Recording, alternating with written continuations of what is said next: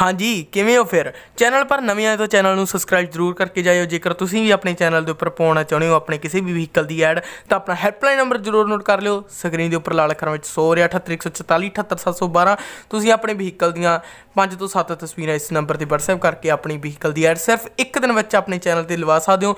ਹਾਂਜੀ, ਤੁਸੀਂ ਬਿਲਕੁਲ ਸਹੀ ਸੁਣਿਆ। ਇੱਕ ਦਿਨ ਵਿੱਚ ਤੁਹਾਡੇ ਵਹੀਕਲ ਦੀ ਐਡ ਆਪਣੇ ਚੈਨਲ ਤੇ ਲੱਗ ਜਾਏਗੀ। ਤੁਸੀਂ ਬਿਲਕੁਲ ਸਹੀ ਜਗ੍ਹਾ ਤੇ ਆਏ ਹੋ। ਧੰਨਵਾਦ ਹਾਂਜੀ, ਸਤਿ ਸ੍ਰੀ ਅਕਾਲ ਦੋਸਤੋ, ਸਵਾਗਤ ਹੈ ਤੁਹਾਡਾ ਤੁਹਾਡੇ ਆਪ ਦੇ YouTube ਚੈਨਲ ਦੇ ਉੱਪਰ।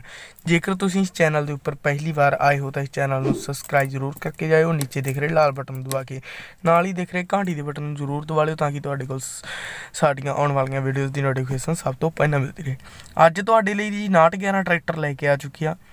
ਅੱਜ ਦਾ ਇਹ ਟਰੈਕਟਰ ਸਭ ਤੋਂ ਵਧੀਆ ਤੇ ਘੱਟ ਰੇਟ ਵਾਲਾ ਟਰੈਕਟਰ ਹੋਵੇਗਾ ਜੀ। ਰੇਟ ਆ ਇੱਕ ਲੱਖ ਤੀਹ ਹਜ਼ਾਰ ਰੁਪਈਆ ਜੀ।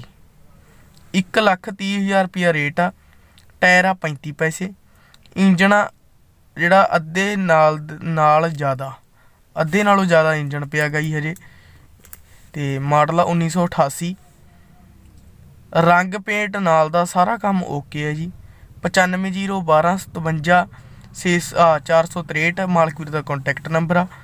ਨਵਾਂ ਸ਼ਹਿਰ ਦੇ ਕੋਲ ਪਿੰਡ ਸੇਖਾ ਮਜਾਰਾ ਐਸਵੀਐਸ ਨਗਰ।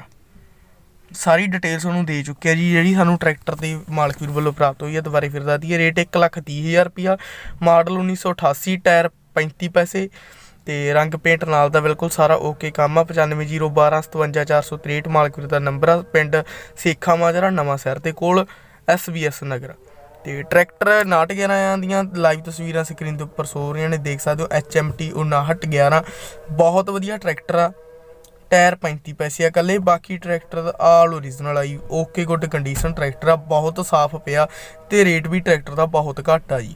ਬਹੁਤ ਵਧੀਆ ਟਰੈਕਟਰ ਆ ਤੇ ਮਾਲਕ ਵੀ ਨਾਲ ਗੱਲਬਾਤ ਕਰਕੇ ਤੁਸੀਂ ਟਰੈਕਟਰ ਦੀ ਖਰੀਦ ਕਰ ਸਕਦੇ ਹੋ। ਧੰਨਵਾਦ ਜੀ।